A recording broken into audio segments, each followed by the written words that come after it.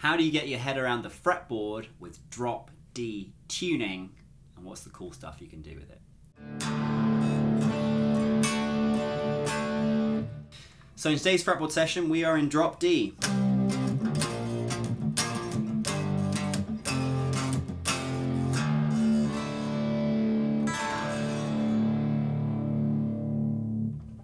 Alright, cool. So drop D is a really cool tuning and I think of it as like the first, for most people, exposure that you get to alternate tunings on the guitar. And I think probably my first song I ever learned was actually in drop D. I learned some Rage Against the Machine tunes, all in drop D.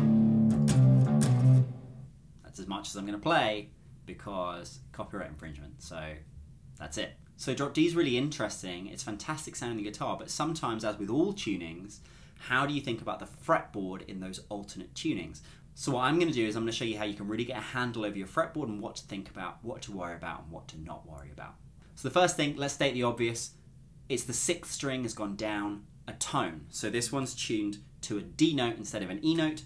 So we now have a different set of shapes on the guitar and we have a different set of possibilities. So I'm going to take you through some options and ways that you can think about on the guitar. So the first thing I recommend is actually taking out a piece of paper and writing out your new tuning on paper, or specifically this string, this D string. If you know the D string pretty well already, then you don't have to do that. But if you have to think about what the D string is as you're playing to know where those notes are, I would put it on paper in front of you so that you can start following off the paper. Whenever you're in a new tuning, it's useful to have that there and then you start trying to remove the paper as much as possible. You have some time with it in front of you, some time away from it, but you don't always have to just try and look at your guitar and stare and work things out. That's a really fast way to being overwhelmed and end up not actually thinking about what the notes are at all and just kind of feeling around for the right notes, which is fine too, but not the goal of today. I think is really useful is if we apply this to a chord progression. So let's take a chord progression that would be easy in open tuning, D, G, and E minor. And I like to take a chord progression because then what I want you to do, or I think it's a fun play along at home, is to try and work out or how would those get changed or what could I do to have fun with them in drop D. And this is a class that I did exactly like yesterday with my students because what a great way to start exploring open tuning is to take something you're already able to do and see what happens and the new possibilities in a new tuning.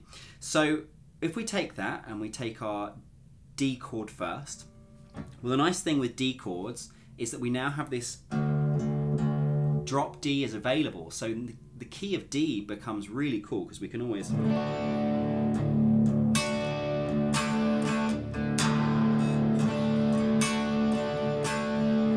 And for the G chord, we've got a couple of options. We could ignore that it's there altogether. We could find the G note and then play it. Or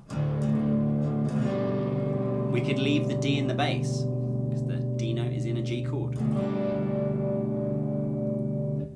And then for the E minor chord, we can take the shape we already know, E minor down here, and then put a finger on the E note, which is going to be fret 2 now, and then play it on the guitar.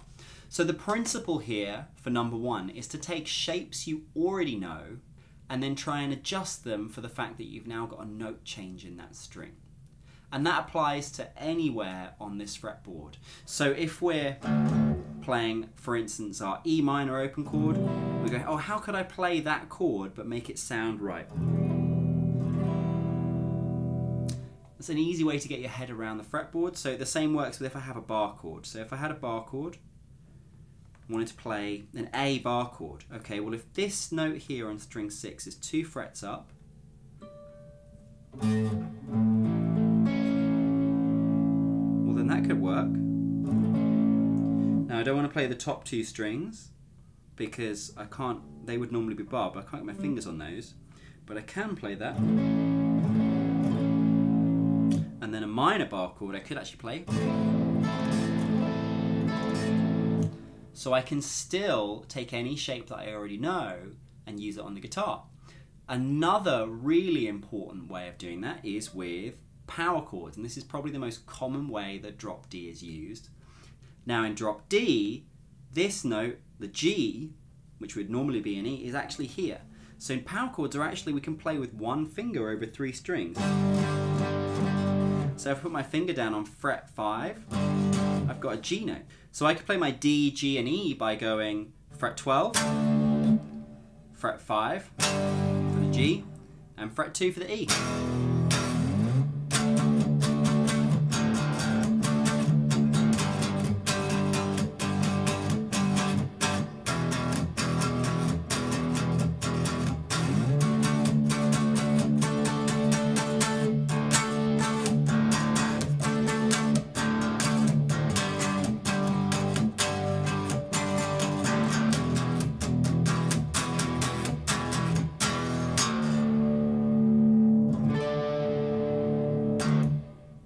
So, so far we've looked at open chords and adjusting those for how you use the D note in the bass. We've looked at shapes along the fretboard as well. Now, the final thing I want to look at is the importance of knowing strings 2, 3 and 4. And this comes up again and again. It's going to be across several alternate tunings that we're going to use.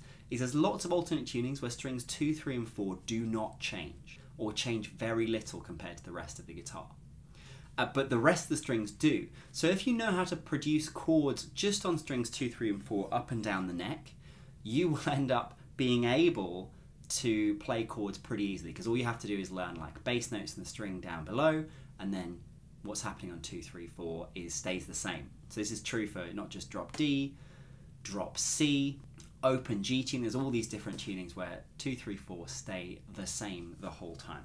So if you can play triads, which are major or minor chords, just using strings two, three, four, you can get a lot of mileage out of this new tuning. So for instance, uh, if I can play my D chord here, my D chord here,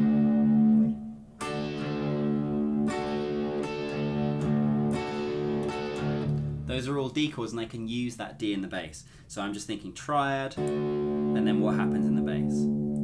Now if I can produce my next chord, we, we said a G chord now.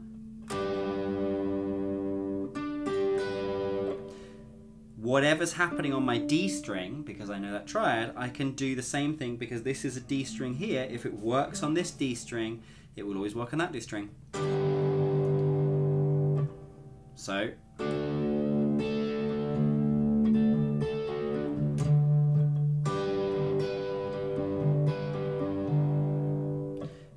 E minor